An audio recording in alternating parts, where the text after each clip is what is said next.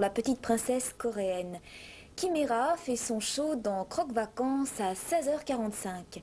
Après les charmes de l'exotisme, les délices du mariage et les joies du délifiane, à 17h55, ça plane pour les Bradford. 8, ça suffit. Nouvel épisode suivi de la roue de la fortune à 18h45. Pour le moment, la fortune, c'est un joli petit magot qui se trouve dans le coffre-fort d'une banque de l'Oklahoma, Far West 89 évident